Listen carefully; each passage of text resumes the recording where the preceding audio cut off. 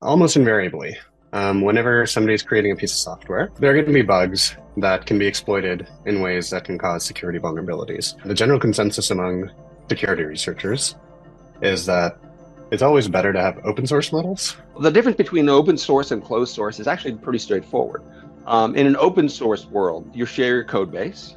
Um, often you share your data. In the instance of language models, you share the all, the configuration of the model. So you can reproduce the model itself without having to retrain it, and then you can train on top of it. In the closed source world, you get an application.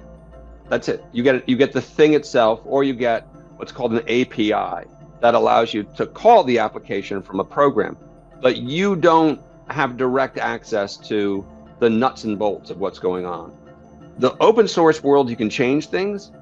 Closed source world, not so much so what open source even means in the context of AI is um, not fully well defined. The debate can generally be boiled down into these two different ways, right? So, those in favor of closed AI are typically sort of coming at it from the perspective of, well, if we um, if we close AI, then it will be harder for threat actors to exploit the AI in malicious ways.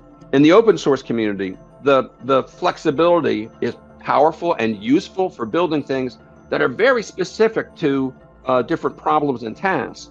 But that means you've also giving uh, you giving the same flexibility to nefarious actors.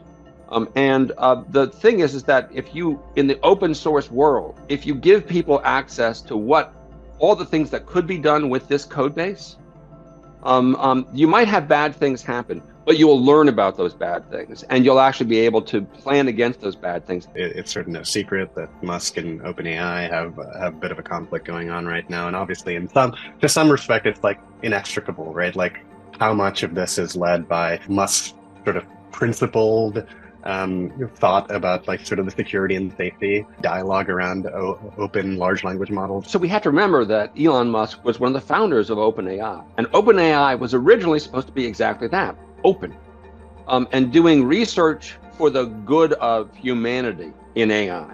I think the idea of taking uh, taking Grok and making it open is a fabulous idea uh, because there the competition no longer is, you know, is it better than than GPT 4.0 or the coming GPT 5.0? It's it's it's open. You can use you can use it to do things. You can actually begin to understand more about what the technology is. This is exactly why competition is good. The fact that this is raising public consciousness around this idea of open versus closed and what are the benefits versus the um, risks of both is exactly what we kind of need in society right now in order to sort of raise public awareness and get sort of more uh, important voices in this topic.